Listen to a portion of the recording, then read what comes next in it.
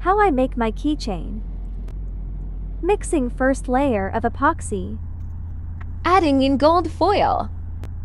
Pouring the design. Adding the details. Picking up the dirt if any. After 12 hours, stick the name on the first layer of dried epoxy. Weeding the name. Pour second layer and wait another 12 hours. Demold the alphabet and sand sharp edges. Drill hole and place key ring. Finally done.